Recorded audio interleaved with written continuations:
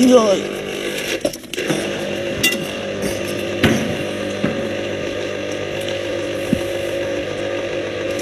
Eu acasă când primeam uh, banii mereu de la muncă, nu m-am dădea seara banii, mă duceam la magazin și îmi cumpăram numai fructe. Seara aveam o tavă din aia plină de fructe.